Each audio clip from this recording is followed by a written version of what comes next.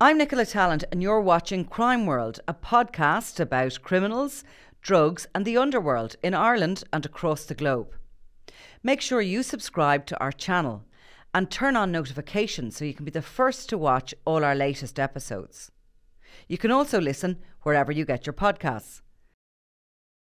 So, Miles, this isn't part of the book, but I do think it, it, it was what I came out of reading reading this book, Chasing Shadows, your book, Chasing Shadows, I came out of it going, that explains to me one of the sort of big questions was why were the DEA so interested in the European super cartel, as we call them? Why were they either at or undercover or had under surveillance Daniel Kinahan's wedding in the Burj Al Arab?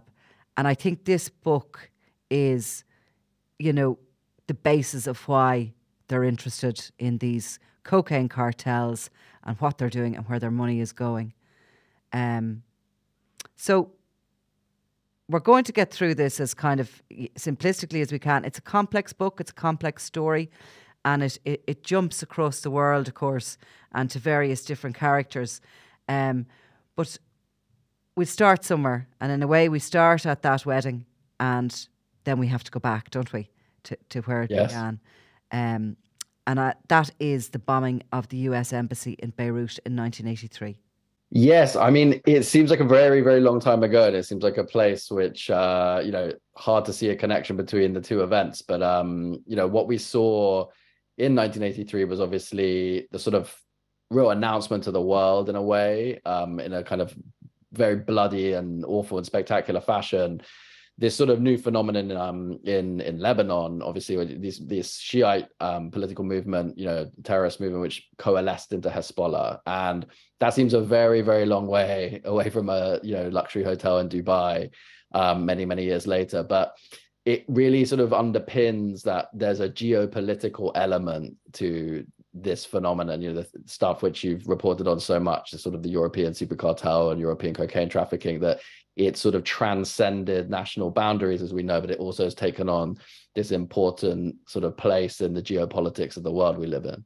And interestingly, I suppose if we bring ourselves back to 1983, not only just for the bombing of the US embassy in Beirut, but also where was cocaine then? Well, of course, the Colombians were eyeing up Europe, weren't they? And they were seeing it as a market that they would be interested in. They saw it as somewhere that was less policed than the US and where they didn't have to go into competition with the Mexicans.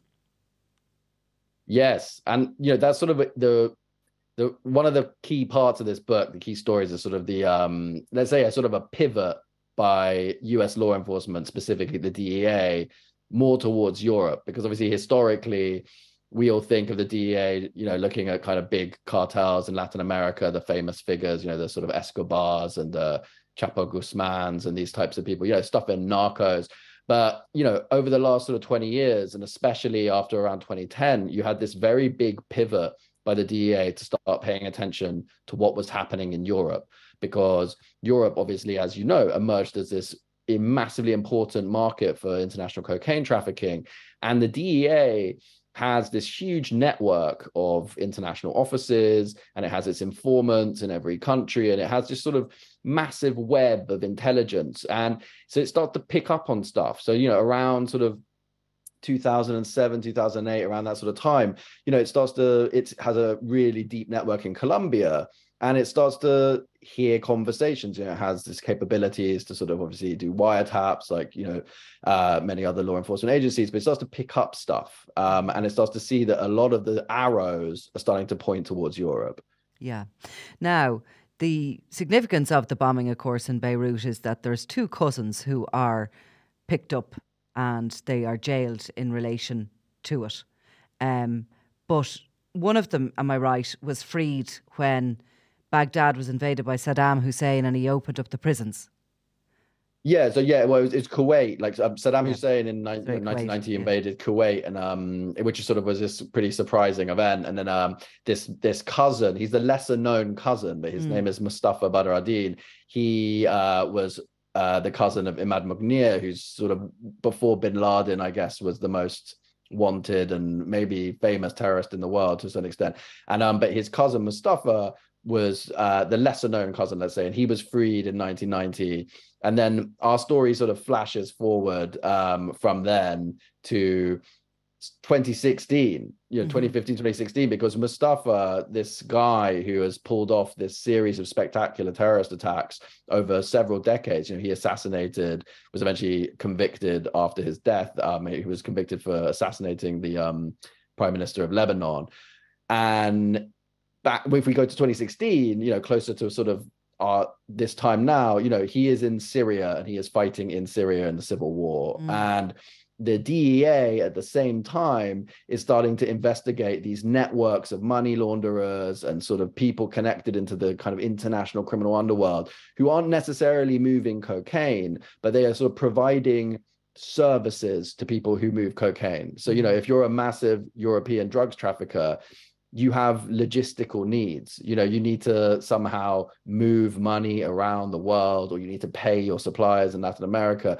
um, the DEA got really deep into this network of money launderers in Europe who were using Middle Eastern banks, principally in Lebanon, to launder vast amounts of money for European cocaine cartels.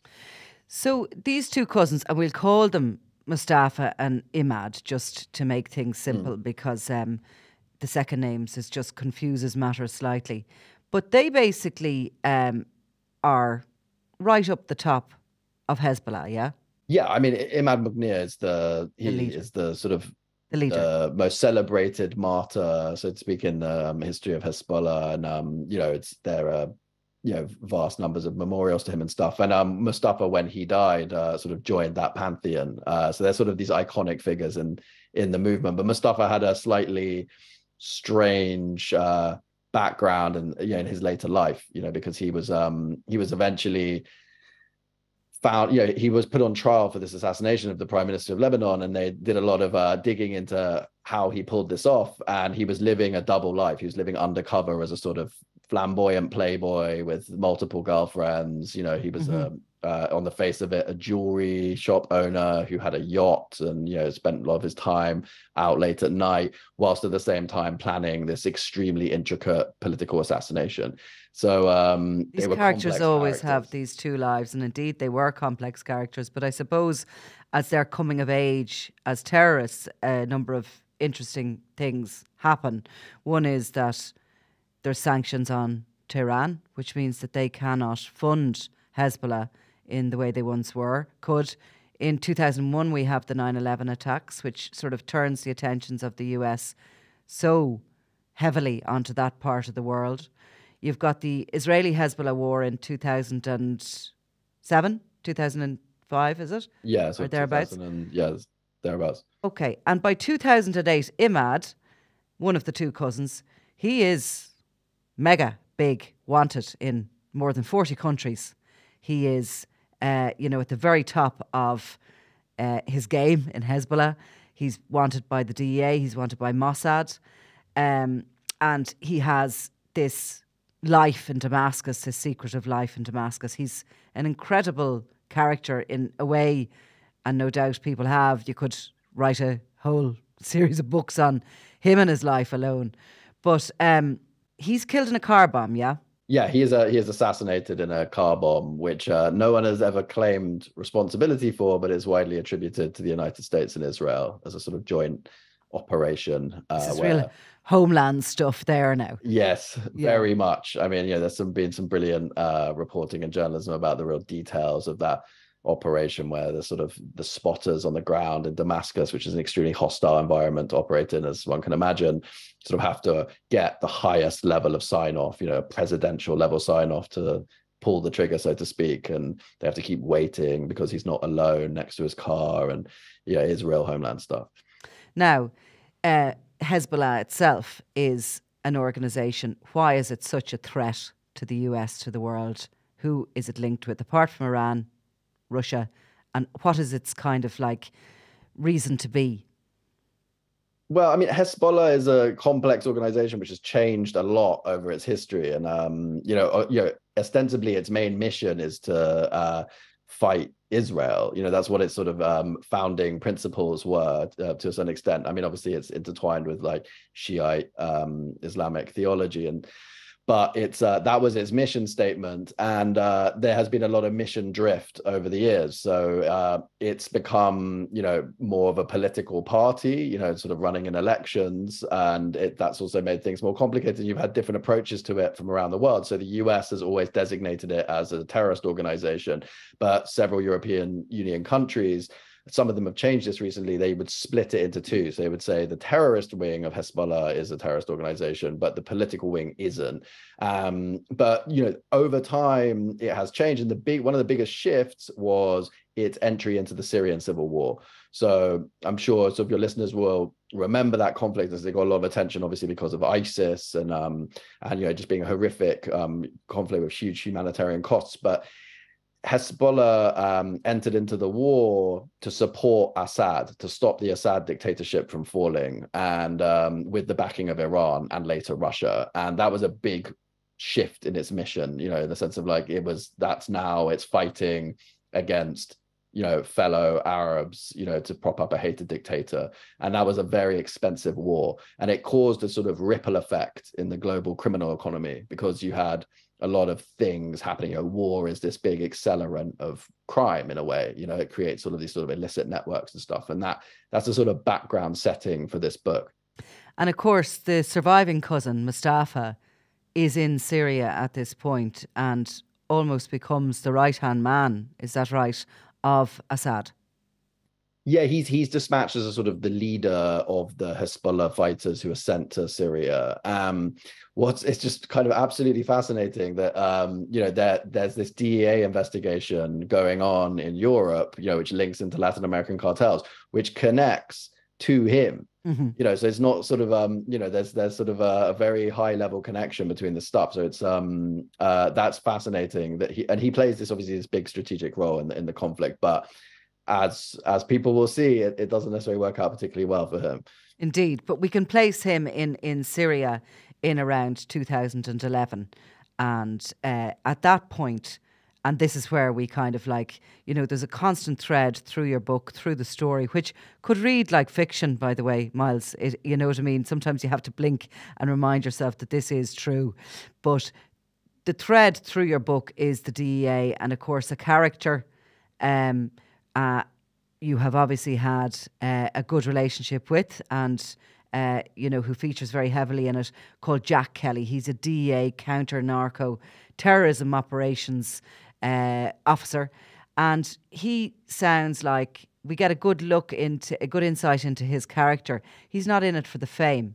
He's a kind of good guy that's there because he believes in right and wrong, and he sees the the the kind of connections between the drug gangs, the Colombians, and Hezbollah, this terrorist organization, so desperately in need of funding. And despite its claims to be presumably anti drugs, like most of these terrorist organizations claim to be, uh, he can see that they are actually all working hand in glove. And every shipment of cocaine that travels across the globe to come into Europe, to come onto the dinner uh, tables and the toilet cisterns in clubs across Europe, where there's a huge demand for this stuff, that that is funding Hezbollah and exactly what is threatening the security of the US. Yeah, so it's a really interesting story with Jack Kelly. I mean, Jack Kelly is this, um, you know, he's a brilliant investigator, but he is someone who starts off on the streets of New York as a young, you know, sort of DEA cub agent in his 20s. And he does the things you'd expect a DEA agent on the streets of New York to do. You know, he's sort of busting local drugs traffickers and you know sort of doing raids and these things. And then at a certain point uh you know around sort of uh 2005 6 that sort of time he is um drafted into this division called the special operations division which is a part of the DEA which was set up actually as far back as 1994 but it was sort of a almost a clearinghouse for information. So they have all of these you know sort of agents around the world and they have these you know different operations going into different criminal networks.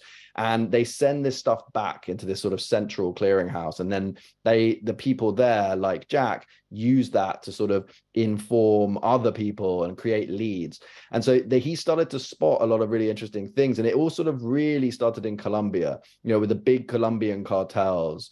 And they were sort of picking up in wiretap evidence, you know, people speaking in Arabic and people talking about how they could move money, you know, through the Middle East. And they started to follow those trails. And then at the same time, they were picking up on calls coming in from Europe or people stationed in Europe who were calling up money launderers in places like Medellin and saying like, okay, I can move this, I can pick up the money in say Antwerp tomorrow or whatever. And so it became quite clear quite quickly that there was this sort of triangle. There was this connection between all three of these seemingly very distant places. Mm-hmm. But people didn't really buy into that interpretation at the start. Why not? I think there was a, you know, there's a lot of reasons why people were pretty skeptical. So I think it's now, you know, in 2023, a bit more of a consensus idea. But, you know, back, you know, in say 2011, there were people in other US agencies, there were people in, you know, other walks of life who just didn't be, didn't really believe that that would be possible. It mm. just seemed very unlikely. And obviously there's a sort of counter terrorism or intelligence mentality where sometimes they can view these organizations the terrorist organizations as very very centralized and disciplined and ideologically driven organizations they're like well they wouldn't do that mm-hmm. because that doesn't fit with their ideology but obviously in reality, these are complex organizations where, like any organization, there are going to be people who are running little side hustles or doing their own thing or doing things which are contrary to the official ideology of the organization, but uh, to some extent in the aim, the greater goals of the organization is how they justify it. And so it took time, and in fact, never really happened until he retired that people started to really believe him. I mean, he had colleagues who he was working with who were very much, you know, the rest of the DEA were very much behind it, but there were other agencies who were just saying this is impossible. And of course, no, no matter how ideological any of these organizations are, um, and it was the same with the IRA, they are money machines and they need a huge amount of m- money to operate and to continue being are running at such a level of threat to societies and uh, weapons cost a lot of money. Uh, you know, feeding an army costs a lot of money, doesn't it? So where are they going to get the money from? And I suppose, uh, you know, the problems within Iran, maybe, you know, what created it? It's a bit like the chicken and the egg, isn't it? All these sort of geopolitical things are happening that are, um, you know, are forcing these groupings almost together. So cocaine demand is rising. The Colombians are producing more. They're dumping it into Europe which is creating mountains of cash money that they need to transport and they need to move. Uh, and sometimes, of course, they need the drug routes through these territories like Syria, don't they, as well? So they're they're Absolutely. working hand in glove. It's maybe obvious to us now, but it's it's uh, you know, in hindsight, Jack Kelly was had an incredible uh, vision of uh, of being able to join the dots there. Completely. I mean, it's it's sort of it's this kind of butterfly effect of this sort of like chaotic criminal capitalism, where like you you have these, as you say, these sort of like unexpected consequences of events, which then create other sort of things. And you know, at a sort of really base level, like if you sanction a regime, or if you're part of a terrorist organization, you know, as you say, you need to buy things, you need to go out and procure things you need, and you can't go on Amazon or eBay to buy that stuff. So you you're sort of forced in you know instantly you have to start dealing with underworld procurement networks and people who can get you things and inevitably these worlds cross. So you know it doesn't necessarily mean that the people who are in Europe who are laundering money for you know which eventually benefits in some way you know people who are sort of moving arms into Syria which are being used by Hezbollah fighters or whatever it would be it, it, they may not be ideologically motivated at all. They might be entirely pragmatic. You know they're just sort of this is a business opportunity mm-hmm. and i can make a lot of money out of this. You know there'll be it could be you know there there are these fantastic DEA cases where you know high, people connected to very high ranking officials and uh, officials in Iran are sort of sent out into the world and asked to procure helicopter parts because Iran's under sanctions and they can't buy helicopter parts. They need to kind of find a funny way to do it. And they end up sitting down with informants, you know, from the DEA who are posing as Venezuelan drug traffickers who say, of course, we can get you these helicopter parts. And it's just this strange meeting of unlikely characters in this shadow dimension, mm. which we can't normally see. Mm. Now, the the we'll follow Mustafa and his ultimate uh, death, but it's the links with him and then the Italians come on in on the scene that really kind of shows uh, Jack Kelly, and we'll claim him as Irish, by the way, because his name is good enough and he's such a hero. Um, we like to claim he is. He is. He is of Irish descent. I knew it. I knew it. All the good guys are, um, but. Uh, you know the, the kind of the, the, the pieces of the jigsaw come together for him and sort of explain to me in as in as much as you can h- how that happens. So there's a number of things going on. I mean you know the in the italians in the story are just like one of probably a very large number of end consumers for money laundering services in Europe. You know, they are basically buying, um, they're attempting to buy a large shipment of uh, cocaine from a Colombian cartel, big cartel, you know, the Clan del Golfo, which is uh, one of the biggest and um, they need to pay for it and so they need to sort of interact with these money launderers who are part of the network that jack is looking at but uh, he you know he he pursues a number of cases. He has this big sort of list of targets and they go after them. They they arrest one guy in prague in this big sting operation where you know they have these undercovers who are sort of pretending that they want to buy that they're, they're, acting they pretend that they're from FARC you know the mm-hmm. Colombian paramilitary group and they're trying to buy rocket launchers and then you know they swoop in and arrest this guy. Uh, but then he is not he's now in in the Czech Republic, and it's quite complicated to get him extradited to the United States. So these operations don't always go smoothly. But then he, Jack, starts to pick apart this sort of network by following sort of the evidence and following the money and looking at people you know he, there's an informant in latin america who's plugged into the cartels and how they're laundering their money and they're calling up guys who are based out of europe who are then reporting into people who are based out of beirut mm-hmm. so they get a call and they say you know they speak in code. They speak about cars. You know they say you know we've got a mercedes 250 in naples. We need to go pick it up or whatever. And then they drive down to naples and pick up the cash you know which is basically being used to pay the colombian drug traffickers. And then they so they launder it back to colombia through middle eastern banks and other means. So and they're picking up stuff everywhere. It's like they, you know, they have all of the phone metadata and all of the, um, you know, information showing mm-hmm. them going into Spain. You know, obviously a huge amount of activity in Northern Europe. You know, in in Holland, in Belgium. You know, these sort of big um, hotspots for for for for drugs trafficking and money laundering. And so bit by bit they start to piece together this network and see who is the sort of command and control. Mm-hmm. and you know they're based in beirut and they're connected to very very senior people in hezbollah. What sort of money do you think has gone through that terrorist organization? Like they're laundering the money right? So they're, they're, they're that's a very important process. Uh, the money launderers rather they're getting a percentage of the actual value of the cocaine. What sort of percentage are they getting? Do you know any idea? I've I've seen, you know, sort of, you know, it can be high. I mean, um, it can be sort of 20%, depending on how difficult. What I found very interesting about this when you look into the specific cases is that certain markets are considered more difficult than others by the money launderers. So in a lot of the intercepts, they're like, we don't like working in France. You know, France is a difficult market, you know, so we charge more you know nice. maybe we charge 20% because you know the french police are actually quite proactive and you know this this um cell was eventually actually arrested in paris you know uh-huh. a lot they waited till one of the main people in the cells flew into paris and they did it sort of once or twice a year and they got them then but you know germany they like working in Germany. You know, Germany is a very cash sort of friendly market. And so the rates very much depend on where you're working and how aggressive the law enforcement is.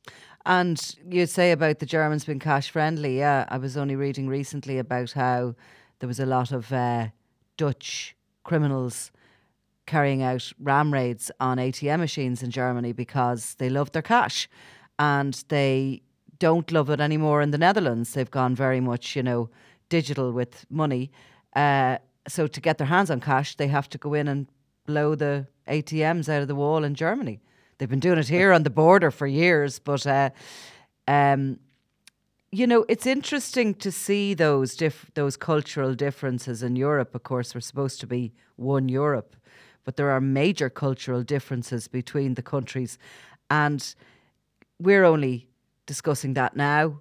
That sort of stuff is news to me, and more than likely to most of the listeners here.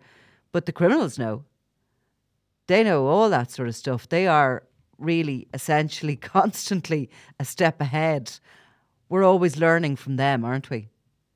Yeah, I mean, you know, criminals have this sort of ingenuity where you know they they they definitely um clearly you know just even things like extradition. You know, throughout the entire history of sort of Euro- European organized crime, you know, people have been pretty quick to pick up on the right places to base yourself, you know, and the wrong places to base yourself. And um, I think um, it it is a clearly like a very innovative um, you know innovative sector, so to speak, in the sense that people figure out ways to to do things which are new and then eventually law enforcement catches up with them and i mean yeah. obviously we've seen this uh, with you know encrypted communications and you know and, and, it's a sort of cat and mouse game and i think the money laundering techniques are definitely part of that but it's just it's a side of um organized crime which doesn't always get that much attention because you know it's quite it's quite geeky it's quite technical it's sort of um mm. there's elements of it which are a bit confusing you know especially when we get to sort of use of hawala and sort of types of um trustless sort of like a banking well it's not trust it's also based on trust actually. Sorry it's a trust based banking kind of system where you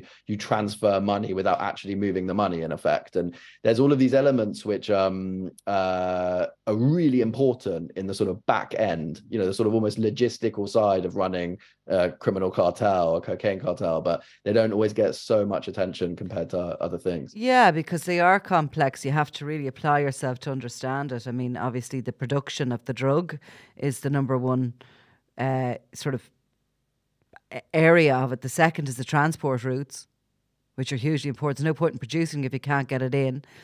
But the money laundering, because without that, nothing happens. It's all about the money, as the criminals will tell you. Um, Chasing Shadows tells an incredible story and weaves the various elements together in an almost like Tarantino fashion. Um, there's great characters in it. They're all true. There, you know, this is this this is a, a, a this is not a work of fiction. This is an incredible story with the Irishman Jack Kelly at the centre of it. Um, but I suppose, in a more general sense, and we started with the wedding of uh, Daniel Kinahan in the Burj Al Arab, um, the coming together of that European super cartel. And let's talk about money laundering with them because I mean, you're talking billions. Like, how the hell do you launder that kind of money, that kind of cash? I mean, they have cryptocurrency, obviously, but in general, let's break this down. They're shipping cocaine across the world into Europe, most of it coming through the ports of Antwerp and Rotterdam. It's split up and it goes onwards to its destination. But eventually, when it gets to its sales point, cash changes hand mostly. I know some of them are using Revolut and all this sort of stuff now, but mainly it's cash, isn't it? Still. So where does that start to go, and, and, and how do they end up bringing it all the way back to Dubai? Yeah, I mean, it, it, can get very, very complicated in the schemes people use. I mean, people use what's called trade-based money laundering schemes. You know, where you sort of you set up a company in one country and set up a company in another country, and they buy and sell something. You know, it could yeah. be charcoal. You know, one of these DEA cases, you know, one of the big money launderers was offering to send charcoal from a Middle Eastern country to Paraguay, you know, and that was a way in which they could um, you know, then you sort of falsify what you're actually sending, but then you can have a transfer of legitimate funds from Paraguay to say a company in Dubai, and suddenly you got money in a in a bank you know, and it mm-hmm. looks kind of legit. And you know, it's, and it's it's hard to do that at scale. But then the scale of this stuff is actually you know quite mind mind boggling. I mean, you know, one of the networks, you know, which they and these are this was a not a not the biggest by any means. You know, law enforcement officials I've spoken to were like, this was an important network, but it, this isn't the biggest network in Europe. This is one, mm. and um, you know, it was moving hundreds of millions, you know, a quarter. You know, it was just moving serious amounts of cash to locations all around the world. And one of the fascinating things the DEA does is they, you know, do these sort of follow the money exercises where they will send an undercover to uh, uh, to meet with a money launderer, say in Paris, and they will basically track that money, how it moves. You know, they'll basically say, "I want this money sent to Australia." Please could you do this for me? How much will that cost? And they'll say okay we'll do it for you for 15% or something like that. And then they then set up a fake you know account in australia which obviously the launderers don't know is controlled by law enforcement. And then they can see the way the money moves through the financial system. Mm-hmm. and so mm-hmm. then it often goes in these very convoluted ways but you can move significant amounts that way. Um you know it clearly doesn't it, it clearly works in the sense of all of you know law enforcement tries its best and does as much as it can and learns and learns from the experts i suppose you know law enforcement yeah. is only learning but in the case of the hawala the money doesn't actually move yeah, I mean that's a, you know that's a really interesting thing. You know, you could have like a warehouse of cash in like you know Antwerp. You could have you know a vast amount. You know, really like you know hundreds of millions, tens of millions at least, and it almost sort of sits there. And obviously, moving that logistically is hard because let's say you did have you know a hundred million euros in cash, it takes up space. You know, it depends on the denom- denominations of notes and everything, but it's pretty tricky to physically move that from one place to another. So Can you, you imagine that went on fire, Miles? yeah, some people would be pretty upset. I'm, I'm, sure. I mean, yeah, it's it's a risk, you know, and it's also just sitting there. It's your sort of all of you know this vast amount of working capital for your drugs trafficking business, and it's just sat very vulnerably in this warehouse. And presumably, you have to be extremely paranoid that someone might be a bit tempted if there's you know that much money sitting a in your bit. warehouse to come after it. uh, just a little. But um, but you know, you have to have a system where you can move the value of that money without actually physically moving the money. So if another person in the location you want to send the money to, let's say it was you know in somewhere in Colombia, it was Medellin or something or Bogota, you you know they would have a their own warehouse with a vast amount of money, and you would effectively sort of set a credit off against each one. So be like, I, you know, you, my client will take, you know, 10 million um, dollars out of your warehouse, and then now you owe me that. Mm-hmm. And then a corresponding, the, you know, a reverse trade, someone on the other side will want to move money the other way, and then it will kind of net that off. Yes. So the actual physical money never really needs never really moves.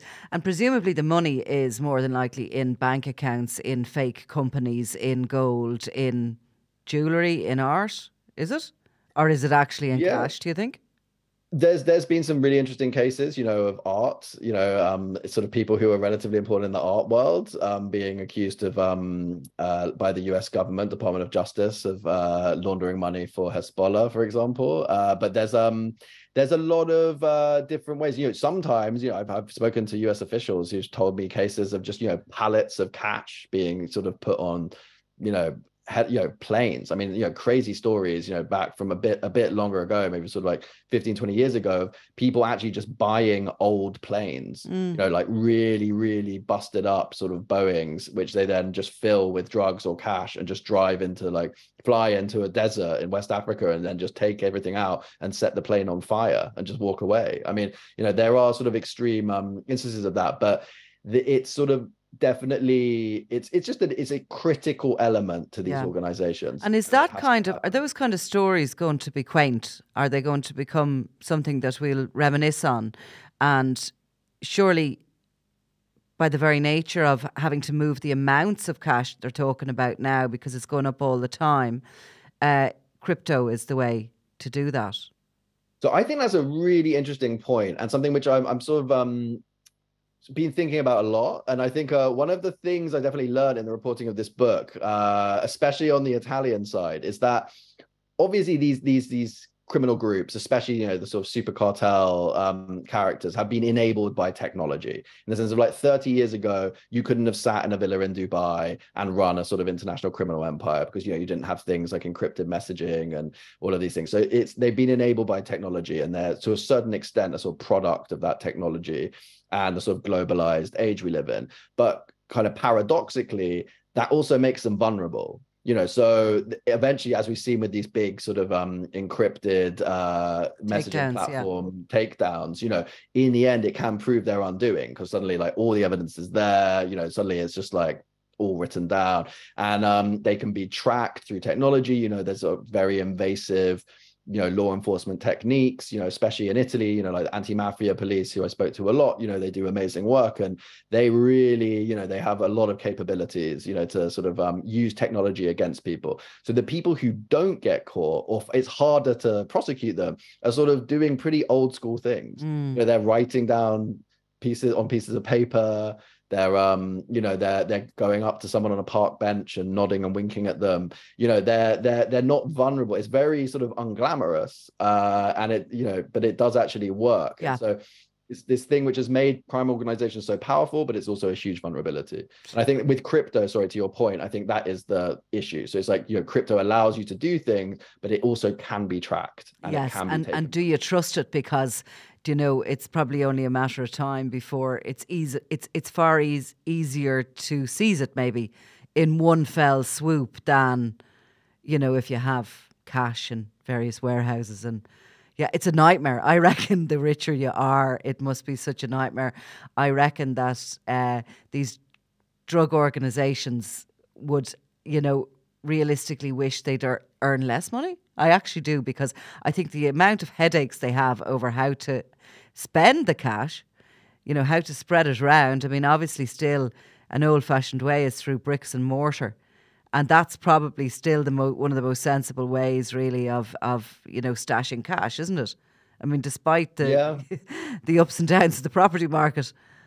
Well, it's the classic sign of sort of narco states, you know, in various places around the world. You start to see sort of skyscrapers popping up over time, and you know, people yeah. just sort of building stuff. And um, you know, certainly what people started to see in uh, West Africa, some West African countries, when that was uh, kind of big spot for um cocaine shipments and stuff like that but it's um yeah it's it's a problem and um but it's like sort of this uh it's a really interesting sub element to this sort of boom in European organized crime where you have these sort of service providers. Mm. You know, mm. you have people who have to solve that problem uh, they have to and, and they come up you know with ingenious um, ways of doing it. But it also ties into this other sort of geopolitical element which is in the world we live in you know where there's sanctions you know there's obviously massive sanctions against russia sanctions against iran north korea. You have nation states with the capabilities of nation states who need access to hard currency they need to you know they are not allowed to interact with the us dollar system. Um, they have to kind of find ways to evade those sanctions. And so in the case of russia obviously you see a lot of you know sort of procurement cells for russian intelligence working to get you know specific items microchips things like that. You know but um you know in the case of iran you know you've had seen a lot of the cases of um you know people needing access to to hard currency or figuring out ways to access things they're not allowed to by sanctions and again that is where you get this interaction between states uh, you know, and sort of rogue states, so to speak, and the criminal underworld, and people, for example, who might have 100 million euros in a warehouse in Antwerp. And while we have you here, me and the listeners on Crime World, and your big Financial Times brain, right? and you're talking about sanctions. Explain to me what the US sanctions are likely doing to the likes of our friends, the Kinahans in Dubai, at this particular moment in time. Because they don't seem to be doing a huge amount of legitimate business, and do the underworld business partners they have recognize them? I mean, there's a a really interesting point, and um, you know, there is a question of sort of like what do these sanctions actually do? I mean, obviously, on the on the on the face of it, they make life very very difficult for you to do normal things. You know, it's not like you can, you know, pay for stuff with your contactless card or like mm-hmm. you know mm-hmm. buy stuff off the internet or you know have a mortgage you know you are toxic you know you are flagged you're a massive kyc risk you know with a massive red arrow you know over your name wherever you go in the world and that makes life very difficult for you but in terms of it's like practical difficulty you see this with sanctions around the world you know there's a big debate over whether sanctions actually work uh how well they work and what they're for and clearly in the case of um, you know a criminal organization, they were already operating in the sort of shadow economy. They weren't just moving all of their profits through the legitimate banking system, and they don't have vast amounts of assets in their own name because that would be crazy. You know, they they would they wouldn't do that. So they already know how to navigate around those sanctions. What it does do is it certainly smashes any attempt to sort of appear legitimate. It puts you know it makes you extremely hot, and I think for any counterparties, you know, associates you know that if you're talking to someone who is sanctioned and you know really under the radar of US law enforcement, you are it's a risk for you. It is. You know, you become sort of a bit radioactive and you're just too hot for anyone to want to go near. But at the same time, what it really does practically, harder to say. I mean, it's a it's a it's a novel, relatively novel thing to mm-hmm. you know to start doing. It's a new thing, thing, but funny you should say that about you know stuff in their own name because uh, obviously criminal criminals and criminal organisations don't you know they don't have Kinahan.org or anything up, but in Dubai they actually do have quite a few businesses and properties in their own name, according to the US Treasury, who detailed some of those things. So, right. So, why do they feel they can do that in Dubai, in the United Arab Emirates? And there's more than are, more than just the Irish out there. Um, you know, I speak constantly to colleagues in Italy, in the Netherlands, and Belgium, um, and across the world in Australia. And everybody, all the baddies seem to be there in Dubai, living it up. Uh, Dubai is or the Emirates, shall I say, is constantly trying to state politically that it won't put up with this. It isn't a money laundering hideout. Uh, it doesn't want drug dealers, and you know, its its its laws would suggest that it's quite a uh, you know a prudish society, really, when it comes to these things. Um, but what's going on there that it is a sanctuary, or certainly from where I'm sitting, it looks like a sanctuary? I mean, that's an excellent question, and I think you must, uh, you know, when when when when any, both of us will speak to people in law enforcement or whatever, they will very frequently probably say, "What on earth is going on with Dubai? Why are mm. they allowing this to happen?" And obviously, we have seen, um, you know, I think in the most simplistic sense, as as as as you'll know better than me, you know, it was um a place where it was until recently almost unheard of to be extradited from. So that's a pretty big draw. But it is also at multiple levels, not just for um, you know, sort of let's say, you know, violent criminals or organized criminals, but all sort of types of different uh, you know, white collar criminals. It is a money launderer's paradise. It has very low financial transparency it's uh you know there's very little surveillance of that sort of thing and effectively there's a sort of you know, and I, I think you know you you said it's a sort of a conservative society, but you know these people aren't they're they're they're doing their business there. They're not they're, they're not going to be you know being violent, committing mm-hmm. crimes. You know, they're not attracting attention to themselves in that way um, whilst they're there. So you know, it's a place where you can you can turn up at the airport with cash. You know, you, there's been multiple you know little cases in the UK, you know, which get very little attention of people just, you know, getting caught at British airports with like a holdall of cash, you know, mm. relatively small amounts, you know, 500k, a million or something, just on their way to Dubai because you can just turn up and drop it and deposit in the bank account, no questions asked. So it has this massive draw, but it's not just organized criminals. I mean, you've seen since the invasion of Ukraine, you know, the the the UAE is a is a place which um, is safe for Russian oligarchs. Mm. You know, so the, the the top famous Russian oligarchs, which all of your listeners will have heard of, you know, sort of the Abramoviches of this world, they spend time in Dubai too. Yeah, and um, it's a place where you can't enforce those sanctions, and so it raises these um these this question of you know what the effectiveness is, but. It doesn't mean that the sanctions are, are pointless, you mm. know, but there is a question to say, you know, are sanctions sometimes a sign of weakness? Because you know, ultimately, the ultimate sign of strength would be arresting someone and bringing them in. Yeah. Well, you know, we live in hope, and uh, there's there's a already a, a, a, murder warrant anyway out for one of the ki- members of the Kinahan organisation who remains free since last April when that warrant was uh, publicised. Sean McGovern and is regularly seen in pubs around Dubai um, the the you know the, the the father and the two sons who are there.